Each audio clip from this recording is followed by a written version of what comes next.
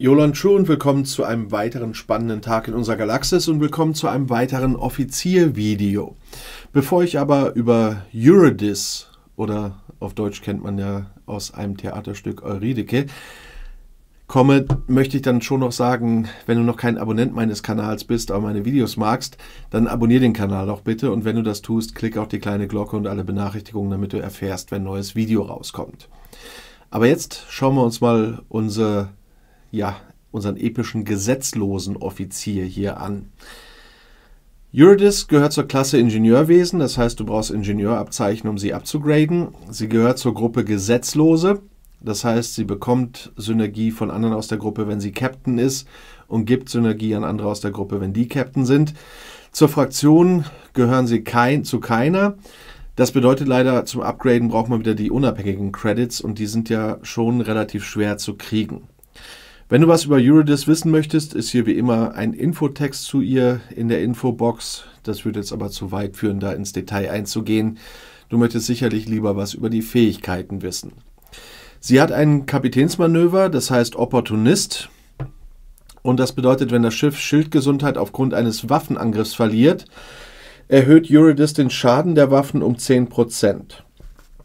Und das soll dann auch noch ansteigen.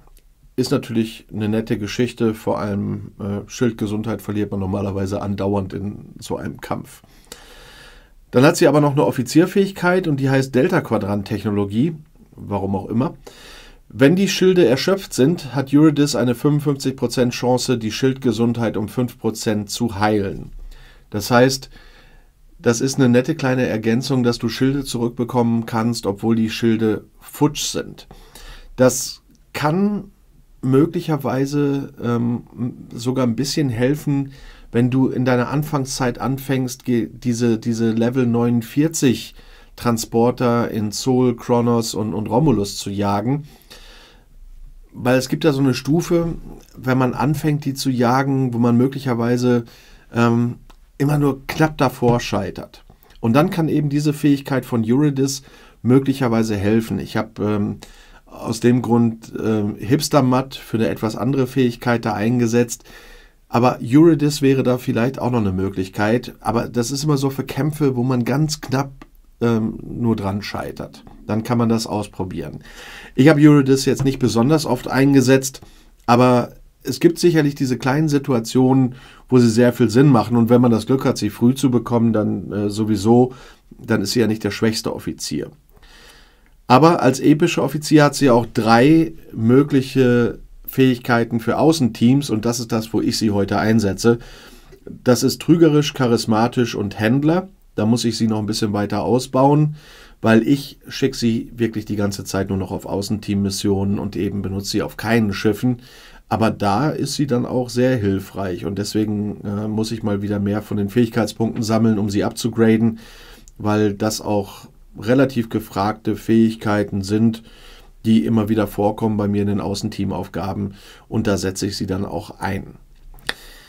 Du möchtest natürlich auch wissen, wie man an Eurydice rankommt. Da haben wir einmal die Geschichte in den Fraktionsshops bei den Gesetzlosen. Denn da gibt es ja auch einen Offizieraustausch, nämlich den gesetzlosen Rekrut. Und da findest du eben die gesetzlosen Offiziere, sogar zweimal matt, aber eben auch Eurydice. Wenn du hier umtauscht, hast du halt die Möglichkeit, auch vier Eurydice-Charts, also Teile, zu bekommen. Aber es ist nicht die einzige Möglichkeit, wenn du schon etwas weiter bist und zumindest schon mal in der Lage bist, dass du mindestens einen seltenen Offizier schon maximiert hast, dann hast du ja die Transporter Musterpuffer und äh, hier sollte Eurydice auch dabei sein. Da ist sie. Dann kannst du sie nämlich mit Transporter Musterpuffern auch eintauschen. Und wenn ich mich richtig dran erinnere, war Eurydice, glaube ich, sogar noch im Missionsschlüssel Rekrut mit drin. Nee, das war sie nicht. Dann, da war Matt drin. Ja, hast du einen Gesetzlosen, hast du alle Gesetzlosen. Ähm, das verwechselt man dann gerne. Nein, aber ähm, in der Transporter-Pattern-Geschichte, also Transporter-Musterpuffer-Geschichte, ist sie, wie gesagt, da hinten auch mit drin. Und sowieso ganz normal über die gesetzlosen Rekrutierung. Ich habe ja gesagt, dass ich Eurydice heute nur noch einsetze für Außenteamaufgaben. Wenn du sie für ganz andere Sachen einsetzt, schreib es bitte auch in die Kommentare. Ist immer gut für gerade für neue Spieler zu wissen, äh, wie andere Spieler, die schon länger spielen, so die Offiziere einsetzen. Aber auch wenn du ganz normal Fragen hast oder Videowünsche, du weißt, ich lese die Kommentare regelmäßig. Und wenn du jetzt noch ein weiteres Video sehen willst, das nächste ist direkt hier im Endscreen. Ich sehe dich dann da. I'll be back.